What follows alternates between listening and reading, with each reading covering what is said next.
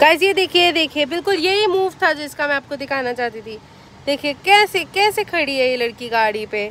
मतलब इतनी अच्छी गाड़ी, उसका क्यों कचाड़ा मचाना है एंजल जवाब दो। और जैसे मैंने कैमरा ऑन किया है